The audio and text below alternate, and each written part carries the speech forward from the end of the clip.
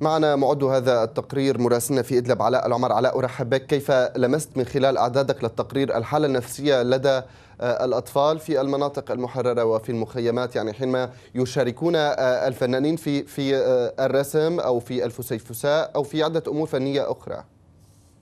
مساء الخير لك وللساده المشاهدين، يعني في الحقيقة آه، المتنفس المتنفس الوحيد لهؤلاء الأطفال يعبر من خلال يتم التعبير عنه من خلال الفن ومن خلال الرسومات التي يعني من من وحي أفكارهم يقومون برسم آه، أو إخراج ما يدور في داخلهم من خلال أطفال يرسمون يعني آه، لوحات تعبر عن منازلهم أو عن قراهم التي دمرت أو التي لم يبقى منها شيء. طبعا هناك نقطة مهمة ألا وهي الفن المقاوم الذي برع فيه الأستاذ محمد طبعا الأطفال آه، عندما أنت تقوم بإدخال آه، طائرة أو دبابة وتركيبها تركيبها داخل قارورة زجاجية فأنت تقوم بعمل يعني تستطيع أن تحصر هذه الدبابة أو هذه الطائرة داخل هذا هذه القارورة. فينتاب للطفل شعور أن هذه الطائرة انتهى يعني انتهى دورها لم لا تستطيع أن تقصف، لا تستطيع أن تدمر، فمن خلال هذا الفن فعلا وجدنا لدى الأطفال حالة نفسية تعبر عن الفرح، تعبر عن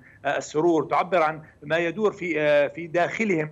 ويستطيعون من خلال ذلك إخراجه إلى الواقع، إخراجه إلى الرسومات، إخراجه إلى اللوحات، إلى المجسمات التي فعلا يتم عرضها ويتم يعني عرض الأطفال هذه هذه الصور وهذه المجسمات التي تعبر عن الواقع الأصلي الذي تعيشه آه، سوريا ومحافظة إدلب بشكل خاص يعني نعم. خاص.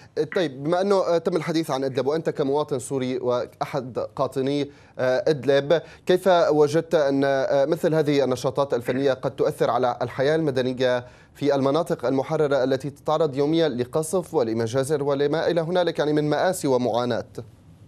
نعم يعني بكل تأكيد هذه الأنشطة وهذه النشاطات إن كانت ترفيهية أو نشاط أو ملتقيات علمية أو ثقافية وأدبية يعني آه، المواطن السوري وأنا كمواطن سوري وأي شخص وأي شخص من آه، المحافظة المحررة آه، يعني يشعر بارتياح نفسي يدور في داخله ارتياح نفسي يعبر من خلاله عما يدور في في يعني في أفكاره أو في ذهنه. الناس بشكل عام في محافظة إدلب يعني آه، قد ألفت آه، أو ألفت القصف اليومي المجازر الدمار فلا بد من يعني لابد من شيء آه، يتم من خلاله التعبير عما يدور في الداخل. ففعلا كما ذكرت لك النشاطات الترفيهية التي طبعا هذه النشاطات هي محصورة في مناطق معينة إن كانت على الحدود السورية أو حتى يعني في مناطق التي يكون فيها القصف بشكل متكامل. لكن هو سبيل لمتنفس وحيد لا يجد المواطن الإدلبي أو أو الشخص الإدلبي آه، آه، إلا هذا الطريق ليعبر عما يدور آه، في داخله. يعني نوع من الرياحه النفسي أو أو الشعور النفسي البسيط الذي يتم من خلاله التعبير عن كل شيء يدور في نعم. داخله أو أو أو الوسط الاجتماعي الذي يعيشه. شكرا جزيلا لك على العمر مراسلنا في إدلب وريفها